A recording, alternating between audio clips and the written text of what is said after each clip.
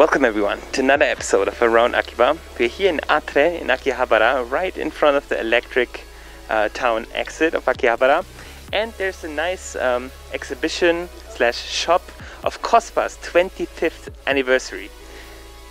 COSPA, for any of you guys that don't know COSPA yet, it's one of Japan's biggest uh, anime manga goods stores and they have their original goods. Um, they mainly focus on anime clothing, but also on little goods like keychains and other little gadgets, cups, mugs, all the different kinds of merch that you can think of. And it's usually very famous anime series that they feature from Dragon Ball, Sailor Moon, Naruto, One Piece, up to recent anime, ReZero of course, Evangelion, Kimetsu no Yaiba, uh, Demon Slayers, they have almost everything just have a look and yeah as I said they have the 25th anniversary so they are selling limited goodies just for the 25th anniversary only here until the 31st of August 2020 and they also have a nice exhibition of all the products that they've sold from 1995 until today in 2020 in front of the little shop booth here in Atre Akihabara they have signs of all the companies, partners, illustrators, seiyu,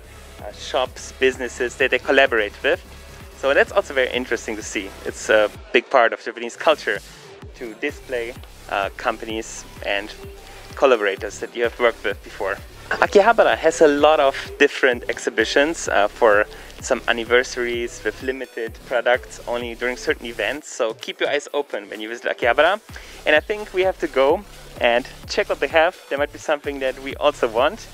And yeah, stay tuned for more reviews around Akihabara and see you next time around Akiba.